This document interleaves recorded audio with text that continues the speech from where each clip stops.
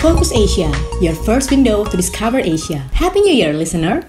You are listening to Focus Asia with me, Calvina. The AFC's executive committee named Saudi Arabia and India in October as potential hosts after Qatar was selected to take China's place as the venue for 2023 competition. On Friday in Kuala Lumpur, a Saudi delegation headed by Dona Rajab presented the 2026 candidacy to the Asian Football Confederation. Yet, India withdrew from the selection process because they want to focus on gearing up for a solid football system. Therefore, Saudi Arabia, which has three victories in the competition, will likely host the AFC Asian Cup for the first time. Despite having won the Continental Championship three times, Saudi Arabia has never hosted the event. Also, after their memorable 2-1 victory over Argentina in the group round of World Cup in Qatar, the nation football fans would have even more reason to celebrate if they were to host the competition.